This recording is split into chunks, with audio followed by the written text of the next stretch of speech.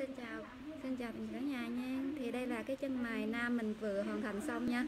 Ở đây thì chân mày à, của bạn này đã có sợi rồi đã có lông rồi nhưng mà nó sẽ bị nhạt và thiếu sợi phần đuôi nên mình sẽ thêm vô đan xen vô nha.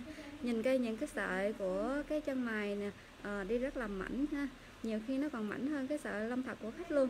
À, thì đối với chân mày nam này thì à, mình sẽ đi nó sẽ to hơn và cái cái cái phần khung đuôi này của mình cũng không có khép khung lắm nha. Để cho rất là tự nhiên và cái phần lông thật của khách mình cũng để tự nhiên luôn. À, đây bên này dán này cho bạn xem nha.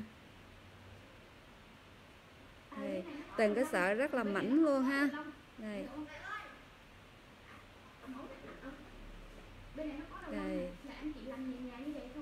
À, nhìn chân mày nó sẽ rất là men lì lên luôn nha. Đây rất là sắc nét lên luôn ha.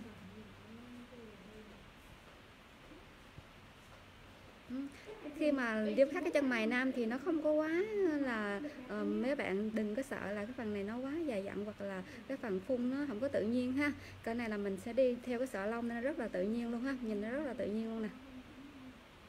Sợi rất là mảnh luôn.